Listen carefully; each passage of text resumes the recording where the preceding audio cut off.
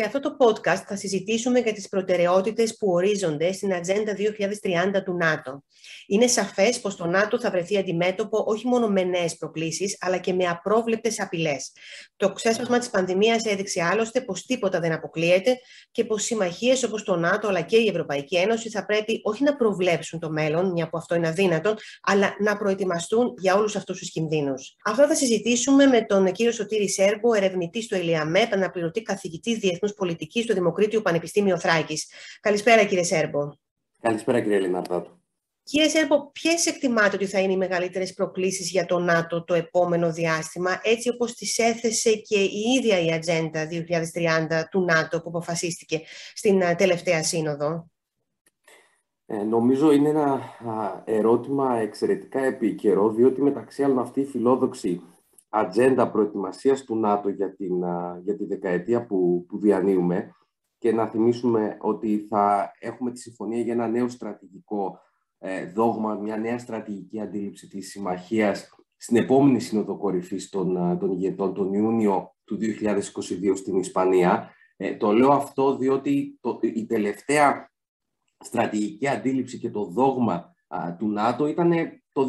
2010. Ε, ενδεχομένως όμως όλοι αντιλαμβανόμαστε την αλλαγή παραδείγματος που έχουμε από τότε, τόσο σε επίπεδο παραδοσιακών απειλών για την ασφάλεια, όσο και στο πλαίσιο, αν θέλετε, νέων αναδυόμενων, περισσότερο ασύμετρων ε, διαστάσεων, που μεταξύ άλλων υποχρεώνουν τη συμμαχία να προσαρμοστεί και ακριβώς όπως είπατε και εσείς, αν θέλετε να δει ε, το μέλλον το οποίο το ξεδιπλώνεται τελείως ε, διαφορετικά και πατώντας ένα πλαίσιο πολύ περισσότερο συνεργατικό το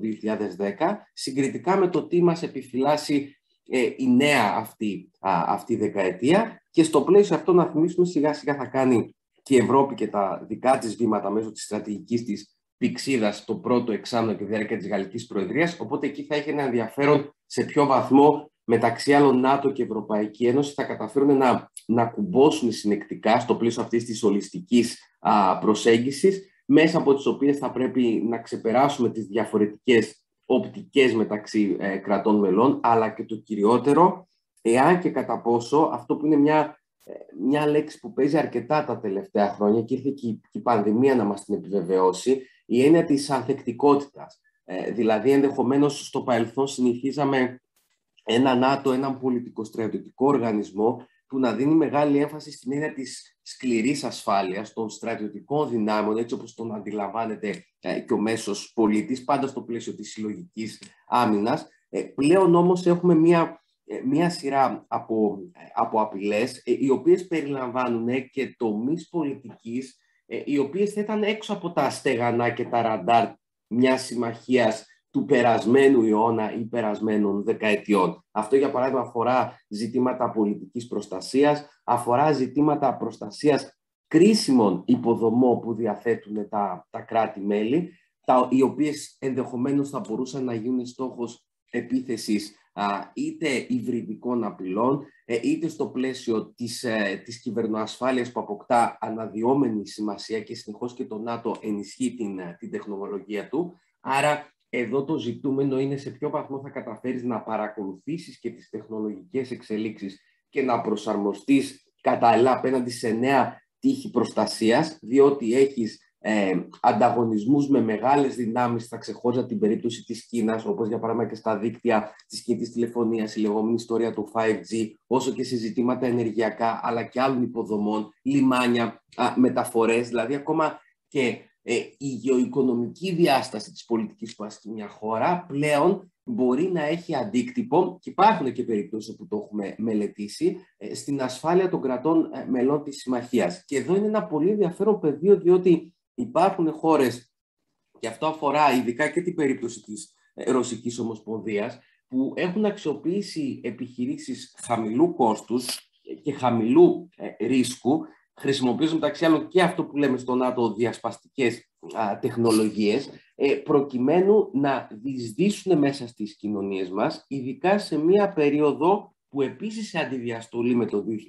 2010 και το τελευταίο δόγμα της συμμαχίας ε, έχουμε κυρία Λιναρδάτου αρκετά ε, ρήγματα ακόμα και οπισθοχωρήσεις σε ζητήματα δημοκρατίας και κράτους δικαίου εντός της Δύσης, εντός δυτικών κοινωνιών. Αποκινούμε με, με μια πολιτική που φαίνεται να προκρίνεται μέχρι και σήμερα από τη σκοπιά ανταγωνιστικών δυνάμεων ή από τη σκοπιά, αν θέλετε, δυνάμεων που θα ήθελαν να αναθεωρήσουν θεμελιώδεις κανόνες του παιχνιδιού, να το πω απλά, με βάση τις οποίες φτιάξαμε τον κόσμο μας μετά το δεύτερο ε, παγκόσμιο πόλεμο, δηλαδή τον πυρήνα της διεθνούς ε, φιλελεύθερης τάξης, θεωρώντας ότι η Δύση βρίσκεται σε μια πορεία αποδυνάμωσης, που πλέον υπάρχουν προβλήματα και ως προς τη συνοχή της στο εσωτερικό. Βλέπετε για παράδειγμα τα κινήματα της παγκοσμιοποίησης, νικητές, η τιμένη, άνοδος λαϊκισμού, ε, η τετραετία που προηγήθηκε για παράδειγμα στις ΗΠΑ επί Τραμπ. Όλα αυτά προσφέρουν ευκαιρίες όπου θεωρούν ότι υπάρχουν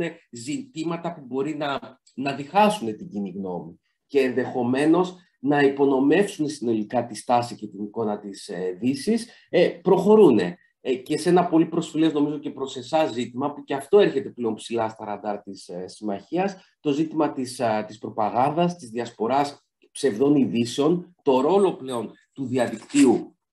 και θα έλεγα γενικότερα της κυβερνοασφάλειας. Και εδώ είναι ένα πολύ ενδιαφέρον πεδίο που στο πλαίσιο των προκλήσεων που έχουμε για το 2030, όσον αφορά δηλαδή να μπορέσουμε να αντιμετωπίσουμε τις τεχνολογικές προκλήσεις, σε ποιο βαθμό θα μπορούσε το ΝΑΤΟ να γίνει ένα φόρουμ που θα έχουμε ένα συνεκτικό δόγμα κυβερνοευθύνης, κυβερνο, αν θέλετε, υπευθυνότητας, όπου θα αναπτυχθεί και θα εφαρμοστεί από όλα τα κράτη-μέλη. Διότι ουσιαστικά μιλάμε τώρα για ένα πεδίο που είναι αρκετά άναρχο και δεν έχουμε χτίσει ένα κοινό τείχος προστασίας. Και αυτό μεταξύ άλλων μας καθιστά και περισσότερο είτε ως χώρες συγκεκριμένες είτε ως κοινωνίες ε, περισσότερο ευάλωτα. Άρα είναι και αυτή, αν θέλετε, η διάσταση να μην είμαστε ευάλωτοι που αντιμετωπίζεται μέσω αυτής της συνεκτικής α, α, πολιτικής που πρέπει να περιλαμβάνει και την αθεκτικότητά μας. Σας θυμίζω ότι στο, στο κρίσιμο ζήτημα της πανδημίας, που επίσης έρχεται ως μια ε, απειλή, αλλά και ευκαιρία υπό μία έννοια για καλύτερο συντονισμό πολιτικών από το μέλλον, να έρθει να μας θυμίσει ότι φτάσαμε να συζητάμε πολύ έντονα ακόμα και για τα ζητήματα των εφοδιοστικών μας αλυσίδων. Ακόμα και στο βαθμό να μειώσουμε το βαθμό εξάρτησης από χώρες παραγωγής όπως, ε, όπως η Κίνα, όταν θα χρειαστούμε για την αντιμετώπιση αυτής της, της πανδημίας ε, πρώτες ύλες που μεταξύ άλλων θα περιλαμβάνουν μάσκες, αυτό που λέμε ιατρική διπλωματία, όπου στο πλαίσιο αυτό ήταν η Κίνα που ήταν πρωταγωνιστής, δηλαδή να, να δώσει μάσκες ακόμα και σε δυτικές χώρες, προσπαθώντας όμως να κρύψει κάτω από το χαλί, αν μου επιτρέπετε, τις δικές της ευθύνες όσον αφορά το πώς ξεκίνησε όλο αυτό και σε ποιο βαθμό έγιναν και αποτελεσματικά μέτρα για την αναχέτηση της, ε, της πανδημίας από πάρα πολύ νωρίς. Άρα εδώ ουσιαστικά η πρόκληση για τη συμμαχία είναι σε ποιο βαθμό θα μπορέσει να, με αποτελεσματικό τρόπο να συνδυάσει ε, παλιές ε, και νέες ε, απειλές, ε, όμως υπό το πρίσμα ότι πλέον και η δικιά μας η ενότητα ε, δεν είναι το ίδιο δεδομένη συγκριτικά με το παρελθόν. Και υπάρχουν χώρες που αξιοποιούν αυτά τα ρήγματα και τις αβεβαιότητες ακόμα και εντός της συμμαχίας. Άρα, ενδεχομένως, ένα από τα μυστικά για την μακροημέρευση και την επιβίωση της Ατλαντικής ε, Συμμαχίας θα ήταν σε ποιο βαθμό θα μπορούσε να καταστεί και περισσότερο, περισσότερο πολιτική, το οποίο περιλαμβάνει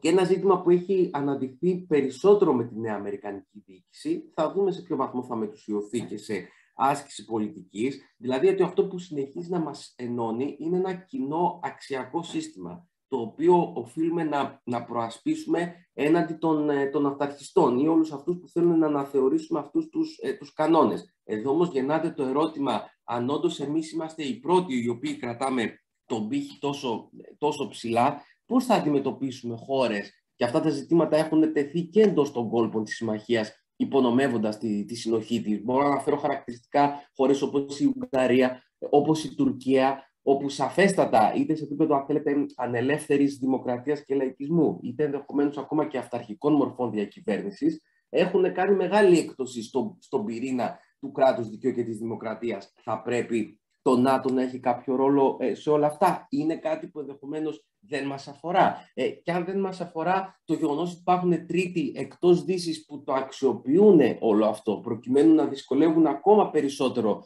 την κοινή μας προσπάθεια για να βρούμε έναν κοινό βηματισμό και ένα κοινό ε, παρανομαστή. Δεν είναι κάτι που ενδεχομένως δεν πρέπει να το δούμε τόσο κοντόφθαλμα, αλλά αντίθετα θα πρέπει να αποτελεί και ένα στρατηγικό ε, στόχο για το μέλλον, μεταξύ άλλων περιλαμβάνοντας και αν και κατά πόσο θα μπορούσαμε να να δώσουμε και κίνητρα, να παρέχουμε, αν θέλετε, κίνητρα να συμμορφωθούν αυτές οι χώρες με έναν αξιακό κώδικα ε, καλής, ε, καλής, ε, καλής συμπεριφοράς. Αυτό έτσι όπως το περιγράφετε τώρα ακούγεται λίγο και σαν την Ευρωπαϊκή Ένωση όπου και εκεί έχουμε θέματα και εκεί υπάρχει και το ζήτημα της, της ομοφωνίας και διαφωνίες. Βλέπουμε ας πούμε ότι χώρες της Ανατολικής Ευρώπης, χώρες μέλη ε, της Ευρωπαϊκής Ένωσης αλλά και του ΝΑΤΟ, εμπιστεύονται περισσότερο το ΝΑΤΟ στην προάσπιση των συμφερόντων τους τουλάχιστον απέναντι στη Ρωσία από ότι την ε, Ευρωπαϊκή Ένωση, ε, η οποία και εκεί υπάρχει ένα ζήτημα ε, εθνικών συμφερόντων απέναντι και στη Ρωσία, απέναντι και στην Κίνα. Πιστεύετε ότι θα μπορούν, το θέσατε, αλλά θέλω να, να το συζητήσουμε λίγο περισσότερο. Πιστεύετε ότι μπορούν να, υπάρχουν, να, να υπάρξει μια καλή συνεργασία σε αμυντικό επίπεδο μεταξύ του ΝΑΤΟ και της ε, Ευρωπαϊκής ε, Ένωσης; Η Γαλλίδα Υπουργός Άμυνας, η Φλωράν Παρλή, είπε πρόσφατα ότι το ΝΑΤΟ δεν έχει τίποτα να φοβάται από την, ε, από την αμυντική οχύρωση της Ευρωπαϊκής Ένωσης, παρά μόνο έχει να, να προσδοκά και να κερδίσει από μια ισχυρή Ευρώπη. Ε, πάρα πολύ σωστά το, ε, το θέτετε και νομίζω γι' αυτό κιόλας δεν το είπα τυχαία ότι θα έχουμε ενδιαφέρον το πρώτο εξάμενο να δούμε όταν θα έχουμε το, το τελικό κείμενο. Αυτή τη στιγμή έχουμε ένα προσχέδιο σε επίπεδο ε, ευρωπαϊκό. Θα κατατεθεί ένα νέο το Δεκέμβριο στο Ευρωπαϊκό Συμβούλιο. Αλλά κατά τη διάρκεια της Γαλλικής Προεδρίας, όπου τα θέματα της άμυνας είναι πολύ ψηλά και θα έχουμε και ένα έκτακτο Ευρωπαϊκό Συμβούλιο, θα πρέπει, αν θέλετε, να, να συμφωνήσουμε, να κλειδώσουμε το κείμενο για τη στρατηγική πηξίδα της Ευρωπαϊκής Ένωσης. Μετά από λίγους μήνες τον Ιούνιο θα έρθει και το νέο κείμενο του ΝΑΤΟ για τη στρατηγική του αντίληψη και το νέο του δόγμα. Εκεί θεωρώ ότι βρίσκεται ένα από τα θεμελιώδη ζητήματα που θα καθορίσουν την πορεία της συμμαχίας στο υπόλοιπο της δεκαετίας, κύριε Λιναρδάτου. Δηλαδή, όσον αφορά τον καταμερισμό έργου, καταμερισμό δουλειάς ανάμεσα στους, ε, στους δύο οργανισμούς, το οποίο όμως περιλαμβάνει, το αναφέρατε κι εσείς, και διαφορετικές προσλήψεις και αποκλήσεις ανάμεσα σε κράτη-μέλη της Συμμαχίας που τυχάουν και κράτη-μέλη της Ευρωπαϊκής Ένωσης. Δηλαδή θα έλεγα ότι έχουμε ένα μπλοκ χωρών της Κεντρικής και Ανατολικής Ευρώπης. Σε μεγάλο βαθμό θα έλεγα συμφωνεί και το Βερολίνο. Θα δούμε ενδεχομένως αν θα υπάρχουν μεγάλες διαφοροποιήσεις από την νέα κυβέρνηση του Φωτεινού σηματοδότη. Και έχουμε και την περίπτωση της Γαλλίας και άλλων χωρών που προσδίδουν διαφορετικό περιεχόμενο στο βαθμό της αυτονομίας που θα πρέπει να περιλαμβάνει αυτή η πολιτική της Ευρώπης για την ασφάλεια και την άμυνα. Άρα σε ποιο βαθμό και οι δυο μάλλον συμφωνούν ότι θα πρέπει να αναπτυχθεί ένας περισσότερο ευρωπαϊκός διακριτός πυλώνας που θα δράσει σε στενή συνεργασία και συμπληρωματικά προς το ΝΑΤΟ, αλλά θα διασφαλίζει και έναν βαθμό αυτονομίας απέναντι κάθε φορά στις προθέσεις ε, ή τις απαιτήσεις της Ουάσιγκτον. Αυτό όμως πρέπει να το συνδέσουμε, γι' αυτό και σας λέω, θα, θα, θα, σε μεγάλο βαθμό θα καθορίσει τις εξέλιξεις, είναι ότι λαμβάνοντας υπόψη τις στρατηγικές προτεραιότητες των ΗΠΑ, όπου ο μεγάλος στρατηγικός ανταγωνιστής, περιλαμβάνοντας και αυτά τα νέα πεδία που αναφερθήκαμε, ε, θα είναι, θα είναι η Κίνα, αυτό πρακτικά σημαίνει όχι ότι οι Αμερικανοί θα αποχωρήσουν από την ευρωπαϊκή επικράτεια ή ειδικά από όλες τις πρωτοβουλίες που έχουμε αναλάβει για τι χώρες κεντρικής και ανατολικής Ευρώπης και τις βαλτικές δημοκρατίες, αλλά σαφέστατα δεν θα πρέπει οι Ευρωπαίοι να θεωρούν ότι θα είναι αυτοί που πρώτοι θα αντιδρούν, αυτοί που πρώτοι θα ενεργοποιούνται ε, στο πεδίο, ακριβώς διότι ε, θα πρέπει να συγκεντρώσουν δυνάμεις προς, προς την Ασία, προς τον Ινδικό Ειρηνικό. Δεν είναι τυχαίο, το έχουμε συζητήσει μαζί παλιότερα και όλη η ιστορία του ε, του αμυντικού συμφώνου ε, άοκους μεταξύ Αυστραλίας, Ηνωμένου Βασιλείου και Ηνωμένων Πολιτών. Άρα εδώ μιλάμε ξεκάθαρα ότι ένας από τους πιο μεσοπρόθεσμους στόχους των Αμερικανών αφορούν όχι την ανακατονομή βαρών, αλλά τη μεταφορά βαρών. Άρα, το πώς θα γίνει, τι επιχειρήσεις θα περιλαμβάνει. Είναι θετικό και η ίδια Ευρωπαϊκή Ένωση ε, έχει αναγνωρίσει ε, τομείς πολιτικής όπως τη διαχείριση κρίσεων, για παράδειγμα, που θα συνεργαστεί στενά για τη συμμαχία. Αυτό έχει ένα, ένα ειδικότερο ενδιαφέρον για την Ελλάδα. Σημαίνει ότι ε, περιοχές μάλλον της ε, Ευρώπης, πέρα από το θέμα της ε, Ρωσίας που αφορά το βόρειο και ανατολικά, που αφορούν τον Ευρωπαϊκό Νότο, δηλαδή αποσταθεροποιημένες ζώνες, όπως ΜΕΝΑ, δηλαδή Μέση Ανατολή και Βόρεια, και Βόρεια Αφρική, δεν θα αποτελούν μια στρατηγική προτεραιότητα για τους Αμερικανούς όσον αφορά, επαναλαμβάνω, το επιχειρησιακό σκέλος με στρατιωτικό αποτύπωμα και παρουσία. Άρα θα χρειαστεί η Ευρώπη να καλύψει ε, αυτό το κενό ή ενδεχομένως αν θα μπορούσαμε να έχουμε και πιο ευέλικτες ad hoc συμμαχίες στο πλαίσιο της, της AUKUS που θα μπορούσαν να κάνουν οι Ευρωπαίοι μέσω του ΝΑΤΟ ή να κάνουν και οι ίδιες οι Ηνωμένες πολιτείες, όπου να έχουμε και μια σειρά από τις χώρες της περιοχής περιφερειακά που θα συνεργαστούν. Ήδη αυτό το βλέπουμε να γίνεται στον ειδικό ειρηνικό με χώρες όπως η Ιαπωνία, η Νέα Ζηλανδία, ε, η Νότια Κορέα ή σε πιο περιφερειακό γκρουπάρισμα όπως είναι οι χώρες Quad ή αργότερα ε, οι χώρες που συμμετέχουν στο σύμφωνο, στο σύμφωνο Άκους. Πάρα πολλά όμως επαναλαμβάνω είναι πολύ σημαντικά για την Ευρώπη και αυτό αφορούν όμως το ζήτημα όχι απλώς σε επίπεδο διακηρυχτικό και προθέσεων αλλά σε επίπεδο ικανοτήτων, ε, ανάπτυξης δυνάμεων, α, προσαρμογής σε αυτές τις νέες απειλές. Το είδαμε για πρώτη φορά και τον Ιούνιο στη Σύνδο Κορυφής Συμμαχίας, αλλά θεωρώ υπάρχει αρκετός δρόμος ακόμα μπροστά προκειμένου και η ατζέντα της κλιματικής κρίσης να βρει τη θέση που της αναλογεί στο ΝΑΤΟ. Είναι θετικό ότι θα μπούμε σε μια διαδικασία όπου στο πλαίσιο και των επιχειρήσεων ε, γενικότερα θα μας απασχολήσει και να έχουμε μικρότερη εκπομπή ε, αερίων από τέτοιες, ε, από τέτοιες αποστολές. Όμως νομίζω εκεί δεν τα έχει ξεκαθαρίσει πάρα πολύ καλά το, η Ατλαντική Συμμαχία. Είναι μια δουλειά ανοιχτή και για το, και για το 2022. Νομίζω όμως ο πρώτος λόγος θα ανοίγει στην Ευρώπη, δηλαδή παρά όλα που όσα έχουμε ακούσει για το πόσο σημαντικό είναι και η Κίνα ε, για τον, για τον ΝΑΤΟ, το είδαμε και τον Ιούνιο. Νομίζω όμως ότι στο επίπεδο της, α, της υπηρετικής Ευρώπης και την ανανεωμένη δέσμευση για συλλογική άμυνα ακριβώς και λόγω των παλιών και νέων απειλών που έχουμε τόσο κυρίως από βορρά ε, όσο και από τον νότο, είναι κυρίως οι Ευρωπαίοι που θα απαιτηθεί να αναλάβουν ε, και μεγαλύτερο μερίδιο ευθύνης. Και γι' αυτό το λόγο δεν αναφέρθηκα τυχαία σε τακτικές και στρατηγικές διέρη και βασίλευε που μπορεί να θέλουν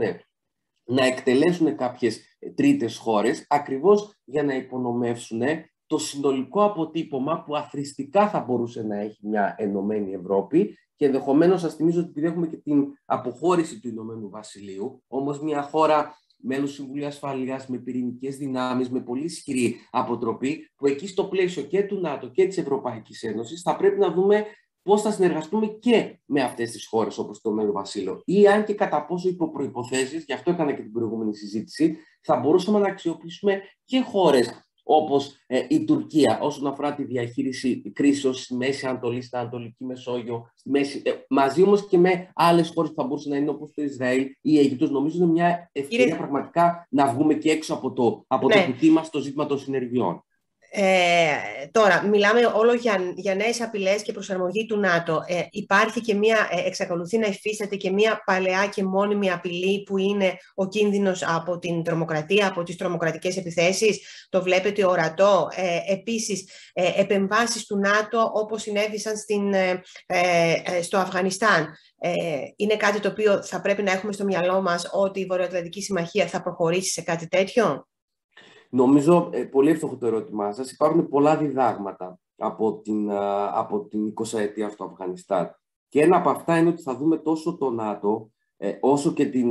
Ευρωπαϊκή Ένωση, αν καταφέρει να κάνει, θέλετε, διακριτά βήματα και σε αυτό το τομέα της διαχείρισης κρίσεων, μικρότερο βαθμό δέσμευσης σε αποστολές ε, τέτοιου τύπου όπως είδαμε στο, στο Αφγανιστάν. Ε, γιατί νομίζω πραγματικά τα διδάγματα ήταν πολλά και ο αντίκτυπος ήταν ισχυρός και ειδικά και λόγω προτεραιοποίησης πλέον των καταστάσεων. Παραλαμβάνω, το 2001 είχαμε τον πόλεμο της, α, της, της τρομοκρατίας, όμως το 2021 η κατάσταση είναι τελείως διαφορετική συνολικά πλέον, συστημικά και δομικά για το διεθνές σύστημα. Όμως, ε, ο παράγοντας, επαναλαμβάνω, τρομοκρατία,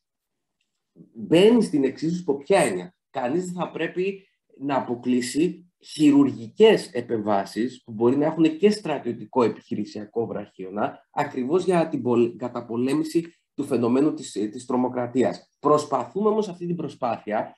να προσθέσουμε και ε, νέους εταίρους ή νέες χώρες που ευθυγραμμίζονται. Σας θυμίζω ότι όπως το είδαμε και με στον πόλεμο εναντίον του, του Ισλαμικού κράτους ε, στη Μέση Ανατολή, είχαμε και χώρες περιφερειακές που συμμετείχαν ενεργά και για τους δικούς τους λόγους, ε, αλλά και γιατί ε, συντάχθηκαν με τους, ε, με τους δυτικούς. Νομίζω αυτό θα συνεχίσει και όπως επίσης θα συνεχίσει να ανοιχνεύεται πολύ πιο έντονα συγκριτικά με το παρελθόν πώς θα μπορούσαν τρομοκρατικοί φύλακες, δίκτυα που απολαμβάνουν και αυτή την πολυτέλεια να δρουν τελείως αποκεντρωμένα και να έχουν πυρήνες ακόμα και σε κράτη εντός της δύσης, να αξιοποιήσουν ευκαιρίες που τους προσφέρουν οι υβριδικές απειλές, οι νέες ασύμμετρες απειλές για την ασφάλεια μέσω του, του διαδικτύου και της κυβερνοασφάλειας. Νομίζω αυτά θα εξακολουθήσουν να είναι πολύ ψηλά στην, στην ατζέντα του ΝΑΤΟ, που μεταξύ άλλων για να λειτουργήσει τι σημαίνει; Μια πολύ πιο συντονισμένη και συστηματική ανταλλαγή ε, πληροφοριών μεταξύ των, των μελών της, ε, της συμμαχίας. Άρα είναι σημαντικό να αποκαταστήσουμε και την εμπιστοσύνη που έχει χαθεί μεταξύ ορισμένων κρατών, όπως η Τουρκία, που επαναλαμβάνω έχουν κομβικό ρόλο και λόγω της, ε, της γεωγραφίας τους Πόσο μάλλον σε περιπτώσεις χωρών που δεν θα διστάσουν, κυρία Λιναρδάτο, ενδεχομένως να εργαλειοποιήσουν και να αξιοποιήσουν τέτοια δίκτυα, ακόμα και να συνεργαστούν με τρομοκρατικά δίκτυα, το έχουμε δει δυστυχώς αυτό, προκειμένου να υπηρετήσουν τις δικές στοχεύσεις. Γι' αυτό και έφερα τη συζήτηση και κατά πόσο το ΝΑΤΟ θα μείνει μόνο στο, στο στρατιωτικό σκέλος και σε ποιο βαθμό θα έλθει και στην ιδρυτική συνθήκη της, α, της Ουάσιτον όσον αφορά το αξιακό του πλαίσιο, αλλά και για να περιορίσει τη φθορά και τα παράθυρα ευκαιρίας που βρίσκουν οι τρίτοι, οι οποίοι ασφαλώς, αν θέλετε, είναι ικανοποιημένοι από να, να υπάρχουν αυτά τα ρήγματα και αβεβαιότητες. Νομίζω η τρομοκρατία γενικότερα θα υποχωρήσει όπως τη ζήσαμε στην πρώτη δεκαετία ε, του 21ου αιώνα, όμως θα συνεχίσουμε να έχουμε χειρουργικές όμως αυτή τη, φορά ε, αποφάσεις προκειμένου να χτυπηθεί το πρόβλημα στη ρίζα του προβλήματος αποφεύγοντας παράπλευρες απώλειες που θα, μπορέ, που θα, θα μπορούσαν αν θέλετε, να επισκιάσουν τη μεγάλη εικόνα και το που πρέπει σε αυτή τη φάση να εστιάσουμε την προσοχή μας. Κύριε Σέρβο, σας ευχαριστώ πάρα πολύ για αυτή τη συζήτηση. Ευχαριστώ θερμά. Και εγώ ευχαριστώ.